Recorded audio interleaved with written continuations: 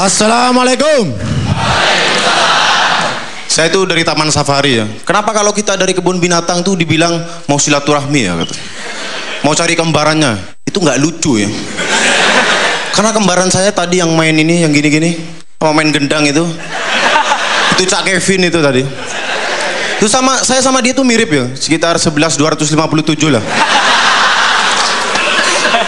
Di Taman Safari kemarin tuh sepi ya. Mungkin karena pertunjukannya gitu-gitu aja. Memberi makan buaya dan naik gajah. Kalau pengen rame itu dibalik. Naik buaya dan memberi makan gajah gitu. Itu pasti lebih seru, tapi ongkosnya nambah 10 ribu buat asuransi. Ya karena itu akan menjadi perjalanan terakhir kalian nanti.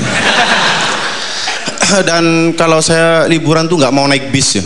Karena naik bis itu aneh banget. Kita baru masuk, itu ada di TV-nya ada tayangan. Sebelum kita berjalan, marilah kita berdoa. Tapi sepanjang jalan, hiburannya itu apa? Dangdut koplo. Saya ini mengganggu banget tadi saya Tiba-tiba ada dangdut, hei kenapa kamu kalau nonton dangdut sukanya bilang aseloletos gitu. Itu bikin saya dilema ya. Saya ini orang alim dan juga pecinta dangdut men. Da, daripada liburan ke mana-mana, mending kita liburan tuh ke Madura. Yes. Di Madura ada Suramadu sekarang. Sebelum Suramadu, itu orang Madura lewat kapal ya. Bedanya dengan pelabuhan Bali, kalau di Bali itu anak-anak kecil renang dilemparin koin. Kalau di Madura nggak level koin, lemparinnya jangkar gitu. Rantai rel kereta gitu, lempar, lempar, lempar. Yeah. itu nggak cuma anak kecil, sekeluarga biasa kayak gitu.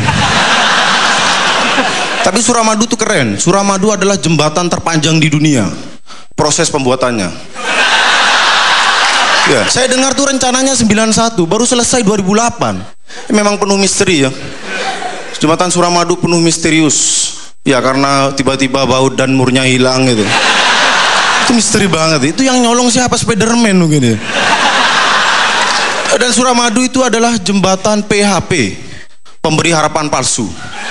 Karena harapan ada Suramadu tuh orang-orang datang ke Madura, tapi apa faktanya? Orang foto-foto putar balik habis itu.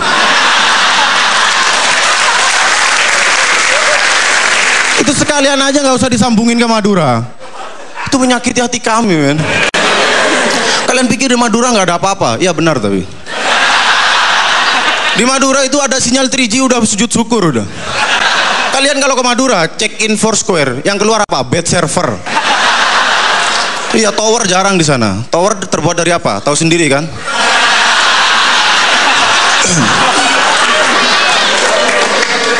Tapi alhamdulillah sekarang di Madura ada wisata kuliner ya. Namanya itu bebek sinjai. Uh, bebek ini laris banget ya. Saking larisnya ini yang jual nggak kebagian sampai. Dan gara-gara ada bebek sinjai itu muncul bebek-bebek baru. Bebek bakar, bebek madu, bebek metik gitu. Ini mungkin nanti lama-lama akan muncul ya di pojok gitu. Bukan bebek sinjai gitu. Sebelah sana masih bebek sinjai. Di pojok, apakah ini bebek sinjai? Uh, dan di Madura itu ada juga yang namanya batik. Wis, batik Madura itu warnanya cerah-cerah. Dalam bahasa Madura disebut batik Harajuku. ya, tapi saya itu heran ya, kenapa ya batik itu diciptakan ada kualitas bagus dan jelek? Kalau memang ini budaya bangsa, seharusnya diciptakan kualitas bagus semua, men. Ya, ya serius ini. Tapi harganya dibedain. Kalau batik bagus itu harganya dimurahin, dibikin subsidi batik itu. Agar orang-orang yang tidak mampu dapat menikmati pakai batik yang bagus, men. Dan orang-orang kaya tetap harganya mahal. 10 kali lipat kalau bisa. Tapi di belakangnya kasih stiker, baju ini tidak menggunakan batik bersubsidi gitu.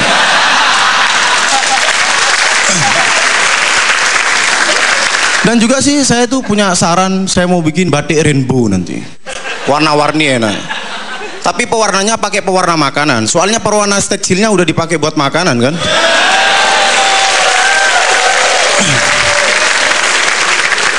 Uh, dan saya itu heran sama orang kaya orang kaya itu apa liburannya itu sukanya ke tempat-tempat yang bikin deg-degan katanya kancol gitu kalau pengen deg-degan tuh jangan liburan tapi main aja ke rumah mantan gitu Iya serius, tapi itu pasti bikin kalian deg-degan. Orang kaya itu aneh pokoknya. Main-mainnya tuh apa naik roller coaster tuh. Wah, wah, wah, wah, gitu. Tuh ngapain itu katanya pengen memacu adrenalin gitu. Ini aneh banget. Kalau kalian pengen memacu adrenalin, itu datang aja ke UGD. Saya suntik adrenalin. Itu saya jamin. Oh. Kenapa bro asik bro? Oh, oh. Mahal bro nggak bilang kamu bro. Tuh ya. Dan kalau orang kaya liburannya ke tempat orang kaya, orang miskin ke tempat orang miskin. Ini jangan sampai ditukar. Kayak acara di TV, tukarkan nasib itu. Itu ada orang kaya jadi orang miskin tiga hari, orang miskin jadi orang kaya tiga hari. Ini orang kaya enak, mereka belajar kemiskinan, mereka belajar bagaimana hidup sederhana. Orang miskin yang jadi orang kaya ini buat apa tiga hari di rumah orang kaya? Itu PHP men. Buat apa di rumah orang kaya ngapain? Kulkas dibuka, ditutup, dibuka, ditutup. Terus juga ngapain main blender diliatin ya? Dan yang paling kasihan itu hari terakhir orang kaya enak, mah kita besok kaya lagi. Yang orang miskin, mah besok kita harus miskin lagi mah. Assalamualaikum.